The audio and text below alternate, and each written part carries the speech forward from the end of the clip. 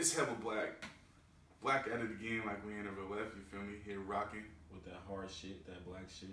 that blackity black shit. You feel me? Not that sellout black shit, but that real black shit. That black in the field shit. This is definitely this. This is definitely that authentic black shit, not that watered down liberal black shit. yeah, not that PhD in the streets black shit, Maybe we, should, we, authentic. we might be, we might need to shift to that kind of black shit because those are the black podcasts that get all the props and all the shit. Yeah, Remember I sent you that screenshot of when um I think it was like the Apple podcast, whatever that little app they had for Black History Month. They had the fucking um like the top top black, black, podcast. podcast for us, and it was like nigga, we clearly got more plays than Most of these podcasts. most of these podcasts. Like we had more engagement, but it was because like when you look at the who they were and the kind of shit they talked about, it was clear to see like oh this the shit that make white people feel good, which is why We might just have to register as some Democrats to get our plays up, bro. you know how niggas be having like Finstas or whatever. We need to get a fake podcast. You said a fake podcast where Fake we just podcast. Yeah, we just be see the power of the black vote. If we just organize the black community black around voting, black, capitalism, black democracy, black rush card. black policing. Oh man, we would get a bag. We would get a bag and some plays and We would get a Black Netflix History special Month. for sure. Oh, facts. We would get Netflix special. We'd be featured on all the top uh, media outlets, news stations for sure. We just gotta stop going by like our first names. We'd be like Mister, Mister Blake or some shit. Yeah, shit. But nah, we gonna keep we gonna keep we gonna keep kicking that real shit. You know, We have no choice. shit. I can't, bro. Like If we I can't even like even when we play with this shit, like we know we, we do like the the fake voices and shit. Yeah, The uh, what do they call that shit? Fuck, what is it? Parody shit. When Yeah. we do it, it even feel wrong when I'm playing. like I feel sick even just Yeah. saying what I'm saying. Like my stomach is kicking right now, bro. So it's like it's, it. it's no point. We could just this this radical black shit, this revolutionary black shit is the shit that feels the most. It, it We have feels no the choice. realest to me. You know. You know, I remember we was talking about it. Where like you said something like, "Bro, we didn't really choose this." You feel me? We was kind of born into it, bro. And like really thinking about that, I was kind of reflecting. I'm like, yeah, we, we really didn't choose this shit. Like this shit kind of just aligned itself, and we had no choice. Yeah, I think with most black radical, radical folks, right? Like it's just something that you're born into or you grow into, and then once you you know you turn that light on, you really get to turn it off. Yeah, Like once you become conscious and aware of what's going on around you and how the sys- how the system works, that's what's talking for you. yeah. I don't know if y'all heard that horn. uh, shit, you know, we we making it rocking. If you're watching right now, subscribe on YouTube. You feel me? Oh my god. YouTube.com slash I don't know what it is, but search Hella Black Pod. We on YouTube. Make sure you subscribe. You feel me? You can watch us as we talk. You can turn it on your TV. You know, YouTube play whatever. You feel me? So tap in with our YouTube, mandatory. Tap in with our SoundCloud, iTunes. Give us a five star review. You feel me? It's like we really trying to be organic. You know what I'm saying? It's you had all these podcasts during Black History Month, like these black podcasts, quote unquote, centered on Apple, you know, podcasts. But nigga, if we have like thousands of reviews on our shit, it's like you have no choice but to like also try and send our shit because we get hella plays. You feel me? So I think that organic support really is what has built Hella Black, and we really need your support. You feel me? Whether it's posting on your IG story, telling your partners, like that's really how Hella Black is spread. I appreciate everybody who's already posted. You feel me? Yeah, I think.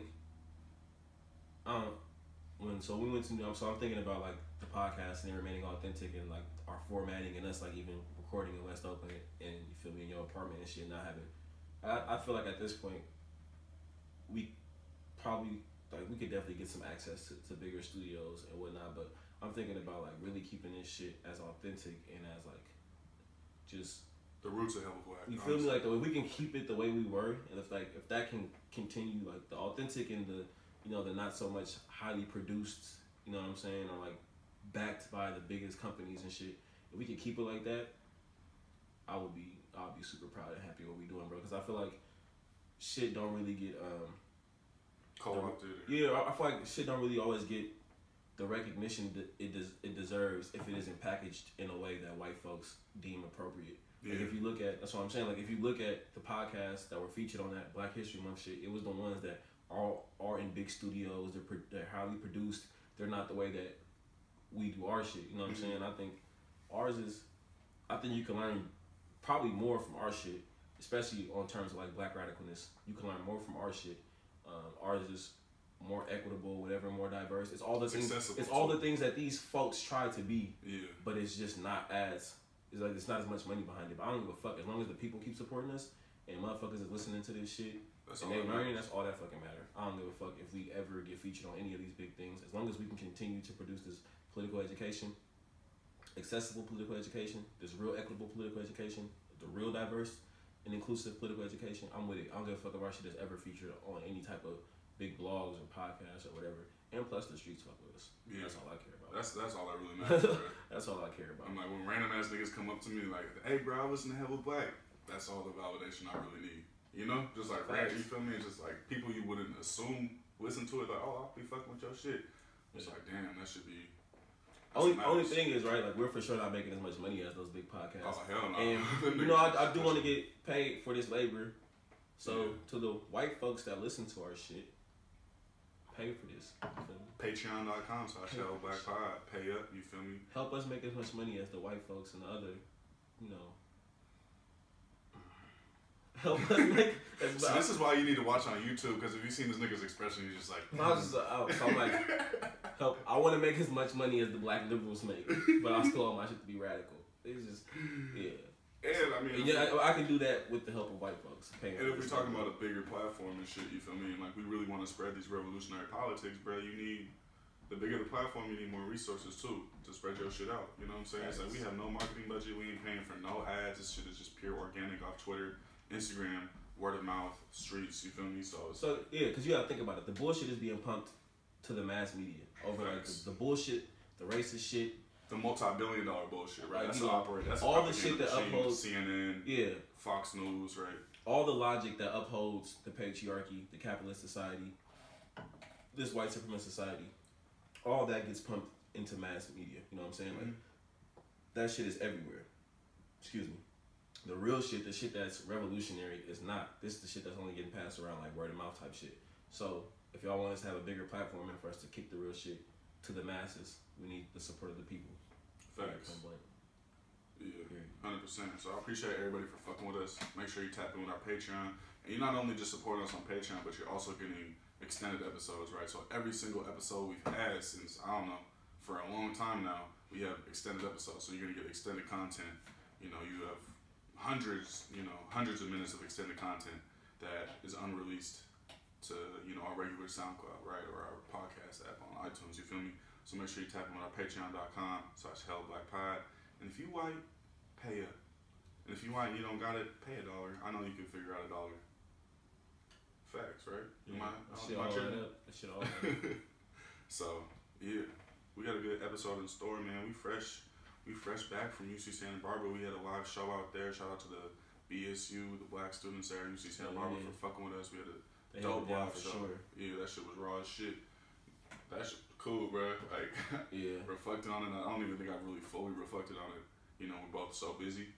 But I'm like, damn, that was pretty monumental for us, especially you know, thinking about you and you went to Santa Barbara City College and shit. Like, so what was that like for you, man? Going back to a place you went to college at and being able to be on something different than sports. You feel me? Be on some politics, bro. It, it was wild. Just like the experience, overall experience in general. I was thinking about something. Um, I was thinking. I, I, was, I was reflecting yesterday. You know, we had the fundraiser that I had been planning for like hella long. Right, that was finally over and it went really well. Congrats, bro. And, and I was just thinking about my life in general, and I and moving to Santa Barbara was a pivotal point in my life. I think that was 20, 2011. I had just quit the Humboldt State football team and like packed all my shit up and got my Greyhound and rode down to fucking Santa Barbara to stay with you know my girlfriend at the time, one of my closest friends. And bro, I'm telling you, like that first semester, I think I had like a 1.2 GPA. Nigga, the football team went 0 and 10. I fucking only played like three games. Bro, it was like the lowest moment of my life. So now I think about going back to Santa Barbara, like, and how much my life has changed. And fuck, what year is it? It's 2019. 2019. Bro, that was eight years ago, nigga. Oh my fucking god, what? Damn. That's Why did it feel like it was like four years ago? I don't know. Bro. Bruh, yeah, so that was eight years ago, nigga. That's. Oh my god, nigga, like my mind is literally blown right now. Eight years ago. So I'm thinking about how much my life has shifted in eight years, bro. Yeah. And I still feel dumb young. That's why I'm like, feel? I was 18 when that happened, 18, 19. Yeah, I still feel, I still feel super young. So, yeah, it, it was wild, bro, to to think about. Okay, there was I once was in living in this in this little city town, whatever you want to call it. You know, going to the junior college out here, dumbass broke, living in a one bedroom with five people. You know what I'm saying? Um, living in this white ass town We're the only black people I know is on fo- in my house and on the football team. And just to go back there now um, to this bougie ass university, who at the time, like I said, I was a city college student, so like niggas, nobody fucked with city college students, especially if you a black student athlete on a football team that hasn't won any games in like ten years type shit. Like no one takes you serious. And on top of that, um, you know, you just at a junior college that kind of elitist attitude that comes yeah. with that shit. So, um, you know, the gist of it is like going back into this space, knowing that like here I am teaching. Yeah, literally teaching. like essentially, that's what we're doing when you educating folks. You're teaching them something, right? So here I here I am at this university that. You know, students that were there made me feel like I was less than because I was attending a junior college or whatever. So like here I am, at this motherfucker, teaching black students and like they see value in my ideas and my voice and my thoughts. It was it was like a surreal moment. I guess like shit coming full circle, kind of. Yeah. Cause yeah, like that It's, place. all, it's yeah. also about all the work you done put into, like think about all the growth you've been In since eight you first bro. came there. Yeah. Eight years and eight eight years later, you feel me? You back and you educating black students. You know what I'm saying? And you talking about your experience and Yeah. shit. You know what I'm saying? And like, imagine if you had I don't know an experience like that when you was 18. You know what I'm saying? Getting like, you know, not to put ourselves on like a high horse or anything, but like to have like a, a radical education or being exposed to that shit. Yeah, You know? and it's just. Mm, I don't know, what train of thought. I- I don't know. It's wild to. I don't know if you ever had the experience like of somewhere that's brought you. Like most, Trauma. most yeah, like mostly a lot of fucked up times. To like go back there in a different point of your life. And it was just it was it was a it was it was a weird experience for me. But the actual live podcast, like being in the room in that space, it, it was it was super dope, bro. Like, yeah. Yeah, so make sure y'all tap into that episode. It's the last episode we just dropped, so you can hear exactly what we're talking about. It was definitely a, dope space, and we have even 30 more minutes of exclusive content from that episode on our Patreon. So if you was fucking with that episode and want to hear 30 minutes more of that episode, make sure you tap in with our Patreon.com slash Hella Black Pod. Yeah, and make sure you know we, we talked about this. We are trying to do more live podcasts. So if you are someone who thinks you have some type of space that we can come to and do a live podcast, that'd be dope. And if you like, if you listen to the live podcast or watch the live podcast, you'll you'll see the um, the space that we that we cultivate. It's super dope. Yeah, it's raw. It's inclusive. It's fun. Like it's politics, but it's also I feel like a good time. You know. and that's that's like that's really the space we're trying to build, you know. So we've had live shows in Oakland, over 100 people, LA, over 100 people. Probably had like over 80 people at Santa Barbara. You feel me? So it's like we really trying to spread these politics and make sure you tap in with us if you want us to come out to your city and do a live show. Any schools you want us to come to, like tap in. We'll try to make shit work. You feel me? So tap in with us. You can DM us at Hella Black Pod or just reach out to us. We you, you know how to find us. The live shows they be mad stressful, but they be fun. Yeah. I had hell of anxiety before. I ain't even gonna lie, bro. I had to do, I had to open my Headspace app and do like a presentation, uh, a meditation or some shit, and just like, That just comes with it though, bro. Like that comes with it. I, I was talking to someone. They said like you don't outgrow the fear of public speaking.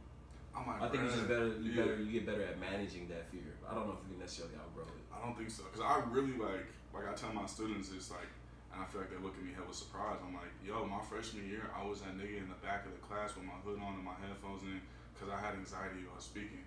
Like I really used to have like damn near panic attacks raising my hand because I literally thought my voice didn't matter, bro. And I'm in a room full of like white people Yeah. at UC Berkeley. You know, There's I'm so many factors enough that play into this shit. You Yeah, feel me? So so it's like, even though my voice matters now, it's like I'm still like, damn, like I have anxiety. Like niggas done spoke in front of like 500 people before, but like I still get that same anxiety and it's a trip. But yeah, I, I get. It's just performance anxiety at the, at Yeah. the root of it, right? Like you got to go up there and you got to essentially perform. You know, I still deal with it at times, but I just learned. To, I've learned to ignore it. Honestly, like I'm nervous before any. I still sometimes get a little anxious before the podcast. You know what I'm saying? Yeah. Like, no, I feel it. I just ignore this shit.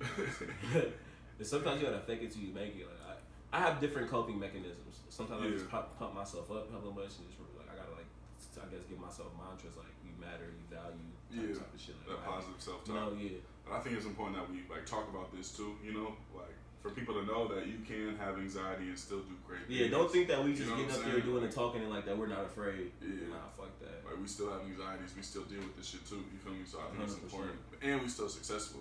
So if you have anxiety, you listen to this, man. Like you ain't alone. You feel me? So we just for sure want people to know that. My heart sure. is racing as we speak. you, I'm right there with you. fam. Shit. So some Black Joy, bro. I don't know. You trying to talk about Black Joy right now? I feel like we we almost Yeah. skipped over it. I had Black Joy last night, actually. What was your Black Joy moment? So shit, me, me, you and Kelly, we met up right and went to go have like some wings and watch basketball for a little bit. Yeah. All of us, both, all three of us were like super tapped out, right? So on, I'm riding home, and I'm like, fuck, I want to do what my grandma's doing. So I just changed my Lyft to drop me off at her house, I walk in, and like my aunt, my aunt is pulling up. My older, my older cousin comes to open the door.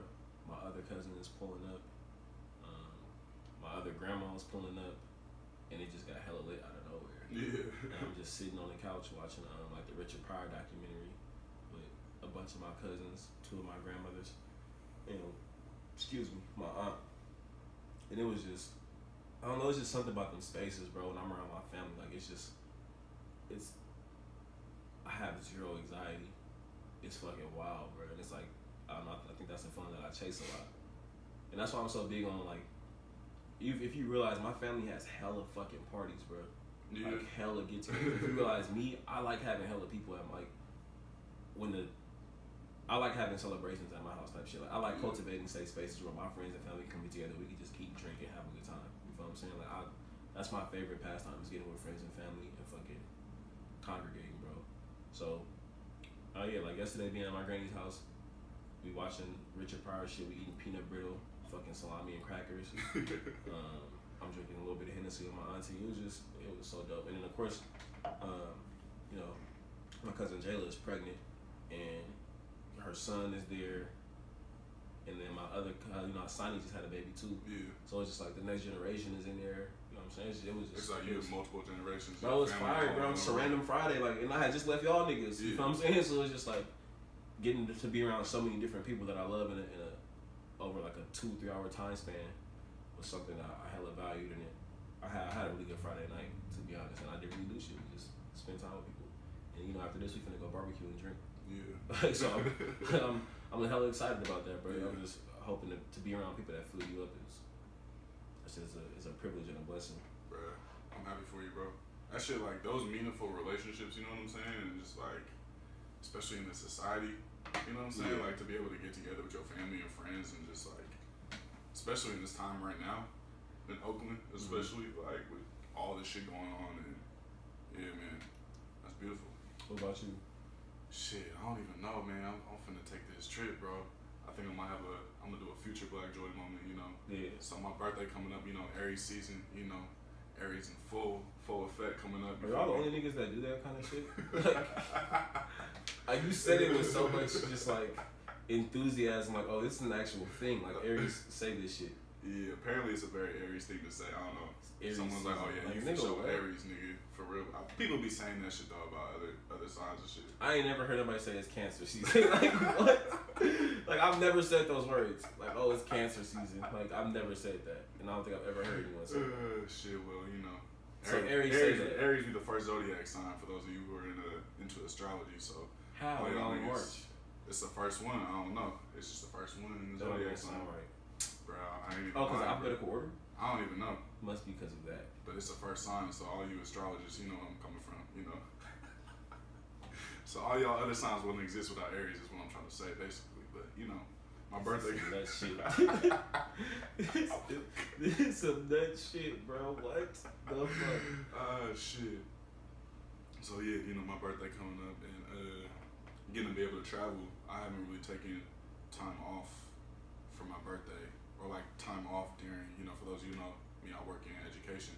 I ain't never taken like a vacation during the school year. it's always been after you know summer or some shit like that. You know, so to be able to take like some time off, like vacation. You feel me?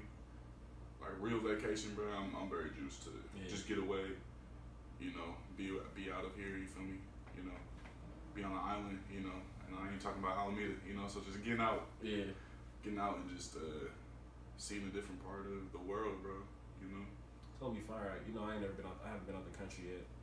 I might this summer for my birthday, but I've seen the pictures of where you're about to be at. That shit's about to be so fun, bro. It's so beautiful. And hopefully you come back like super recharged. Bro, that's what I need too. Is just I feel like feeling recharged.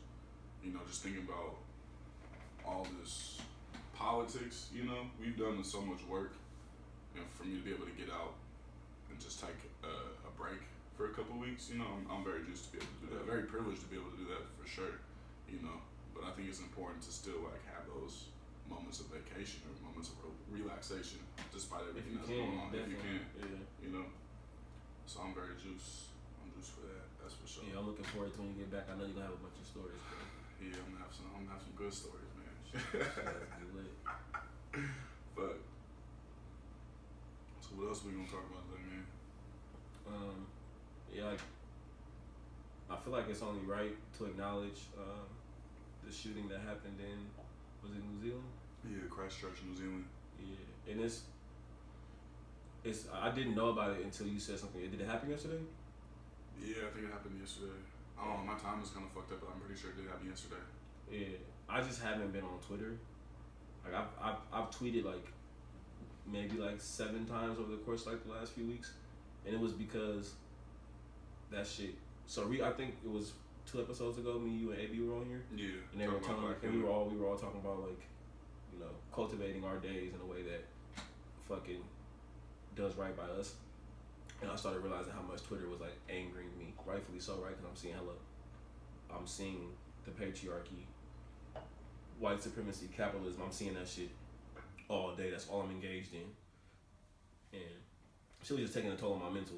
So this is why I have I didn't even know the mosque shooting had happened until we met yesterday, at like six o'clock. And I'm like, Yeah. hold on, what? Um, yeah. So definitely, I, and I, I don't, man, I don't, I don't want to be like sending my condolences or I just want to acknowledge. I don't, yeah, it's such a, I don't like you like send love to people. I don't know what the fuck to do. Yeah, I definitely, yeah. I mean, I think it's about. I, I don't know. It, it's like this shit is so fucked up. Like send, sending my condolences. Sending my condolences, what are my condolences Yeah. going? You know, it's like Not I want to send shit. my love, I want to send my solidarity. That's for sure. But also, like people, like I don't know. You feel me? It's like this shit is so sickening to me, bro. Like I remember just I was just sitting on my couch watching a video from one of, um, I think one of the survivors, and bro, I just like started crying. And usually I'm kind of tapped out of that. Like I'm so used to seeing all this traumatic shit that I'm I have shit that does numb. that to me though, every every now and again. You know, I see something that just like hurts me a lot. Yeah, and that shit But, just like, hurt me, bro. I think it comes And it was a from black yeah. Muslim woman talking too, so it was just like, you know, double layer of that, right? It's just you reach that point where it's just like fuck, like this shit ain't never gonna fucking end, cause you really get to, and then it's just it's such a layered thing. You think about it, like these folks were at church, right? and then the Yeah. mosque, yeah, Yeah, and uh, like a, a religion, or supposed to be like a, a religious safe haven. For me, it's supposed to be a, a safe place for these people, a safe space.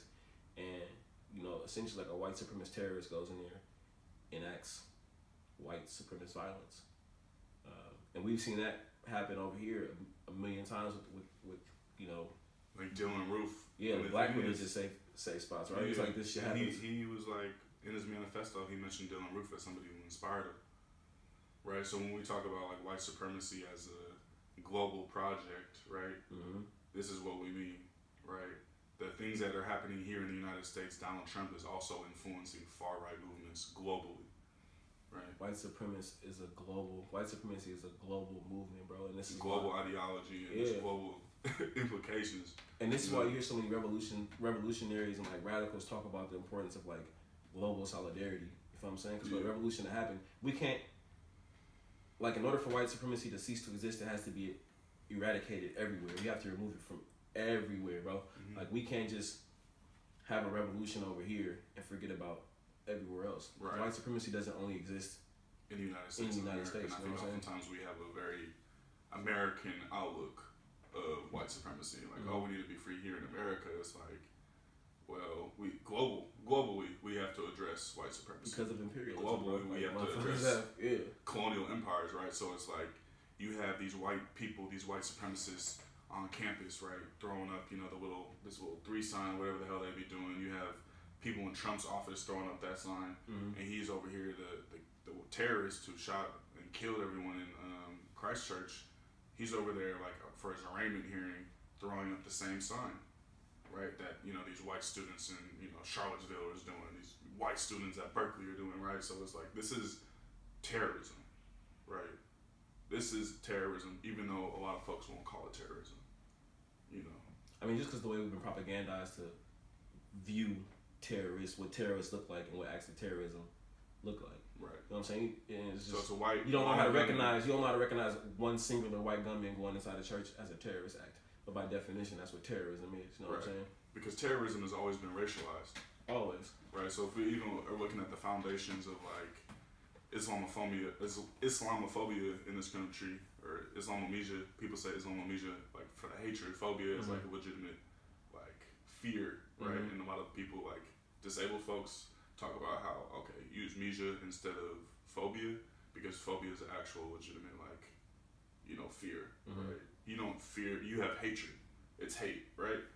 Um, so just thinking about like just the hatred of Muslim folks and thinking about it specifically in this country is like you had black black Muslims were some of the first Mu- were the first Muslims in this country, mm-hmm. right? Taken from Africa, right? And then they had their re- their religion stolen from them, and you know you have white people enforcing Christianity onto them, right? It's like that's the foundation of like Islamomisia in this country, the hatred of Muslims, right? Is rooted also in this idea of anti-blackness too, right? So we can't separate. So I don't want black people to be like, oh, this isn't a black issue.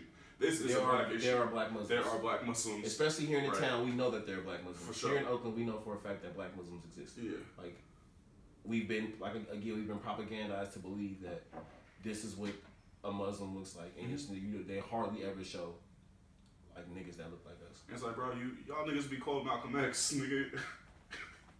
Brother was a fucking Muslim. You feel me? So it's like understanding also the role black Muslims have had in the black liberation movement too is I think very important. But I think just looking at the foundation of like Islamomisia, Islamophobia in this country, right, is looking at it through a like it's rooted in anti-blackness too, right? So we can't just say this, oh, this doesn't affect us. Nah, this affects us. And it's Like, this is a important, yeah. of- Like when we talk about eradicating white supremacy and like revolution, do we only want it for black folks?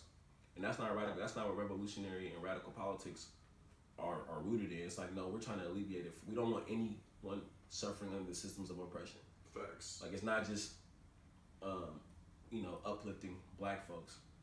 It's anyone that's suffering at the hands of this white supremacist capitalist patriarchy. Mm-hmm. Black people are the only one you You feel know what I'm saying? who Yeah. experienced the oppression of global white supremacy and colonization. Yeah. Right. The American Empire stretches far. You know, the sun don't go down in American Empire. Right. It's always up. So it's like thinking about that is we have to have also have global solidarity with other oppressed people. You feel me? And if we talk about revolution, like, do we really think we can just do this shit alone? You gotta think about it. The oppressors are locked in globally. You know what I'm saying? Them, them- They they tapped they, in, are locked in tapped in. globally. The oppressors fuck with each other. bombs, AKs, know what I'm fucking So F-18s and shit. if on a global scale the people that are upholding the system are in cahoots, the folks that are trying to destroy the system and bring it down have to also link up Right. and band together. That's the only way. We can't be having like yeah, we, we, we definitely have to it's gonna take global solidarity for us to eradicate a global oppressive system. Right. That's just what it is. And as a revolutionary, if you use the word revolutionary, revolutionary, you gotta understand our problem, our issues here is not just like we we coming from Oakland. You feel me? That's where our perspective is coming from. But we also know the issues in Oakland are also very similar to issues in other places in the world because we know how global white supremacy works, Yeah. right? So it's like looking at it when we say it's all of us or none of us, bro. It's like for real, it's all of us black people. You feel me? And I think if all black people were free, like if we really think about this, if all black people were free, indigenous people on this land are free, nigga, everybody gonna be free. You know what I'm saying? And it's like people love to romanticize the Panthers, but also didn't study what the Panthers were doing. You feel me? Like them niggas was internationalists. You was know. locked in, bro. They had fucking, you know, chapters in Algeria, you know, Huey going to North they going to North Korea, Huey going to Palestine, you know. Huey literally offered Black Panthers to fight in the fight with the Viet Cong against the United States. Right? So like literally trying to build solidarity amongst um, racial lines under, you know, a revolutionary idea and a revolutionary practice. Right? So if we're talking about really overthrowing colonization, bro, it's you know, I believe in like black revolutionary organizing, but also like we got to build with other people who are other races and shit who are still who are on the revolutionary shit too. If we really all gonna be free and like Yeah, if, save the we're world, saying bro, all of me? us or none of us, then we have to work with all of us. Period. Point blank. We can't just be sitting over here in a in a, a black, like uh, you know, like only one to. Because that's not what revolutionary politics are. That's not radical politics are. It's not just like okay, we're gonna make sure that the black folks are straight. It's like nah, bro. Like we don't want to see this shit happening anywhere. Yeah. Period. Point blank. Like, that's that's at least my understanding of hmm what a radical and revolutionary is. And we coming from a black perspective. This shit's Yeah. still hella black. You feel me? And we still we feel like we need to build with black people, right? And we need to address our issues and build our own organizations, but also with our own organizations, building solidarity with other organizations. You feel me? I think that's where the Panthers show like a really good model. You feel me? It's like if you look at why Fred Hampton was killed, he was building solidarity amongst Chicago. You feel me? He was building with white poor people, brown folks. You feel me? Like he was really building with all these different folks and like educating people on the conditions that we living in and that's what made him so dangerous. Him building the Rainbow Coalition. You know what I'm Mhm. saying? It's like even people love the Panthers so much. You know, it's like a lot of I feel like niggas who do not like queer folks love the Panthers, but don't even realize that Huey Newton was like actively working with the Gay Liberation Front and building solidarity with the Gay Liberation Front Facts. building solidarity with women's movements. And that's back in the 60s. So it's like 2019, bro. It's like niggas is making the same mistakes. Like, ah, we just gotta focus on black people. All this immigration isn't a black issue. It's like, bro, first of all, there's black immigrants. And if we seeing brown people locked up in cages, we should be mad at that too, even if we weren't affected by it. And it's like, bro, like, or do you once you start talking about if you're if you're trying to center yourselves or only try to focus on focus on yourself, that's that's yeah, I I feel like that's like more of an inclusive way to go about things as, as opposed to revolution. Like, oh no, we need to just get ourselves out of this and try to be like these. You know what I'm saying? Like we want we want the access that that these folks got as opposed to breaking it fully all the way down. You know what I'm saying? I just yeah. That's that's not that's not revolution revolutionary at all, bro the fact that if you're a black person and you're not trying to um, align yourself with you know poor white folks that got the right revolution revolutionary politics, queer folks, uh, folks beyond borders, right? If you're not trying to do that, it's not revolutionary, bro. Period, point blank. Because at the end of the day, you'll put yourself in a better place, but there's still gonna be people out there suffering at the hands Yeah, of this white supremacist capitalist society. right. Period. And people be all tripping over borders. I'm like, oh, I'm an American. I'm a black American, bro. It's like, first of all, this border is created by the white man. Anyways, it's a colonial border that you fucking talking about. Facts. So it's like global solidarity is very important in the Black Liberation Movement. If we really want to be free, nigga, we gotta build globally. Cause you feel me? We stronger with we stronger together. You feel me? We gotta build on the continent too. Build with our people. You feel me? On the continent, really, and just tapping in with folks like that. You know, out there. Facts. Like if we talk about really like a Pan African revolution, you feel me? We have to really build. You know, because we in America, we we in a distinct position where we a landless people on land that ain't ours, and we colonized here. You feel me? So it's like we gotta build other people too. You feel me? I don't want nobody bigger suffering at this shit. bro. Yeah, I don't want nobody suffering at this shit. I know I wouldn't feel right if all the black people were straight, but it's still motherfuckers around the world suffering at the hands of this imperialist nation. Like I'm, I'm not gonna. Like, nah, the job ain't done. The job don't stop at black folks. Right. And Period. facts. It don't stop there. Yeah. That's a true revolutionary politic, in my opinion. And we ain't gonna be free if other people aren't. Like our. and, uh, if, That just make us like white folks. If we out here thriving, you know what I'm saying, and everybody else wouldn't even work. Yeah. like people think that they have this romantic idea of I feel like nationalism in some ways. Like oh, if all, us Black Americans are free and we have our own you know businesses, our own shit, this this and that. It's like bro, So what you want to go? You want to go? You just pillage places? You bro, want to go they take just want, a lot of people just want a black capitalist class. Yeah, like nah, Oh, cool. no, we just want our black this, black this, black that, while other people are suffering. First of all, you won't be you won't be free because capitalism is still going to exploit your own people too. Yeah. Whether it's a black face on it or a white face on it, capitalism is still capitalism, and capitalism will still kill and exploit somebody, even if it's black people at the head of it. So, that's facts. Period. Point. Blank. The revolution must be global. Hello. I think it's okay for us to get into the extended content now. Yeah, let's do it. Honestly, if you want to tap into this extended portion of Hella Black, tap in with our Patreon, patreon.com slash hella black pod. We rocking, you feel me? Mm-hmm. Thank y'all for fucking with us. That was episode 39. 39. Eee.